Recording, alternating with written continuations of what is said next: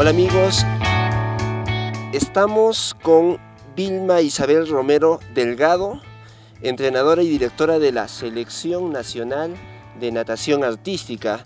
Y al lado de ella está la señora Sisi Villarán, quien es asistente entrenadora también de esta selección. Ellos están en la eh, como, como visitantes acá en la ciudad de Arequipa. ¿Por qué motivo, señora Vilma? Ante todo, muchísimas gracias por habernos acogido también en la ciudad de Arequipa y sobre todo en el Club Internacional de Arequipa. Eh, nosotros estamos haciendo un entrenamiento de altura para conseguir la adaptación y poder competir en los próximos Juegos Sur a realizarse en la ciudad de Cochabamba, en el país de Bolivia. Bueno, Arequipa siempre es escogida de alguna forma por el tema del clima y la altitud. Es muy importante esto para el rendimiento de los deportistas. Claro, a mayor altura, mayor producción de hemoglobina, y por lo tanto mayor oxigenación.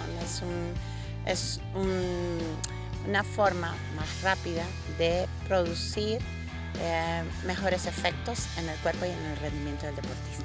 Bueno, ahora eh, los entrenamientos los están realizando en, diferentes lugares, sin embargo el Club Internacional los ha albergado desde el 18 de este mes. ¿Cuántas señoritas han estado presentes y bueno, algunos socios que no se han enterado todavía? Eh, son nueve deportistas que han venido acá a la ciudad de Arequipa y este, están entrenando, como bien dijiste, en, dos piscinas en estos momentos, en, la piscina de Bustamante eh, y, muy gentilmente acá en la piscina del Club Internacional. Bueno, eh, las señoritas, como ya eh, repitiendo lo que dijo la entrenadora, van a participar en los Juegos Odesur que se van a realizar el primero de junio ya, ¿no? El primero de junio. Nosotros vamos a competir del 2 de junio al 6 de junio, son las pruebas de natación artística. Odesur empieza ya a partir del día 24-25. Bueno, estamos acá también porque tenemos una buena noticia para todos los asociados y deportistas, es que la Selección Nacional de Natación de Gimnasia Artística va a dar una exhibición gratuita de este deporte para todas las personas que puedan acudir a la piscina. ¿Cuándo se va a realizar esto y a qué hora se va a realizar?